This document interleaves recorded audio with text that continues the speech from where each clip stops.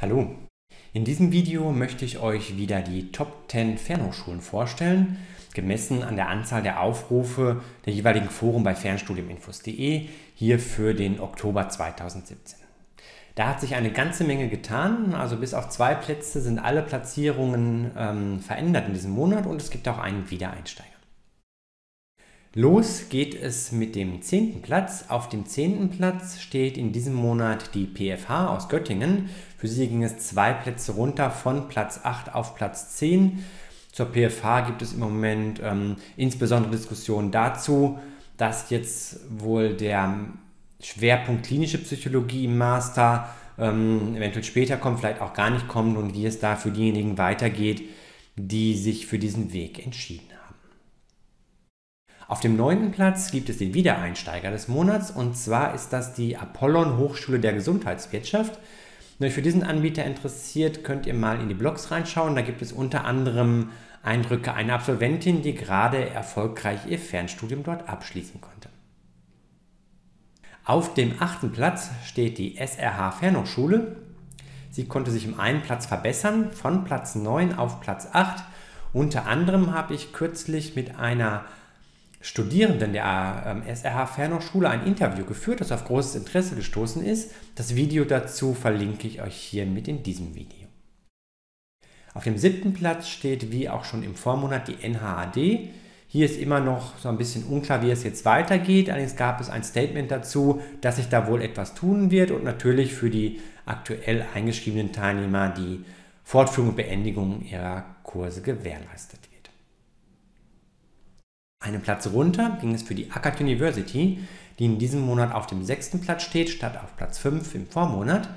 Zur Akkad University gab es einen Live-Bericht vom Akkad Forum, ähm, wo der CEO der Akkad berichtet hat und auch einige Live-Eindrücke vermittelt hat, was da so passiert ist. Thema war die digitale Transformation. Auf dem fünften Platz, ein Platz verbessert, steht die HFH, die Hamburger Fernhochschule. Von Platz 6 auf Platz 5 also.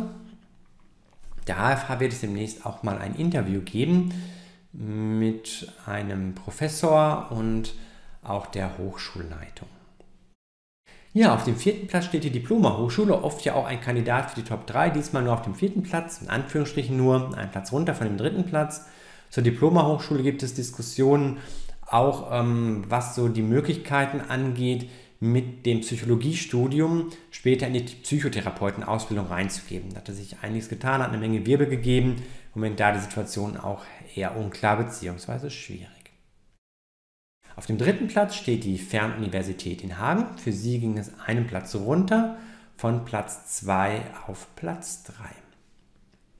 Fernuni Hagen wird auch immer viel diskutiert, auch da unter anderem zum Psychologiestudiengang. Hier geht es darum, dass der Bachelor umstrukturiert worden ist und also jetzt stärker strukturiert ist, ähm, was auch so die Abfolge der einzelnen Inhalte angeht.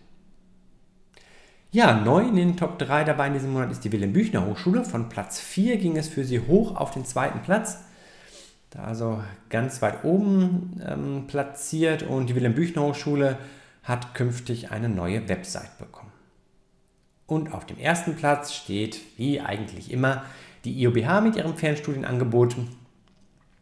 Die IOBH hat künftig ein neues Logo bekommen, ein neues Branding bekommen und ja, ist damit an den Start gegangen.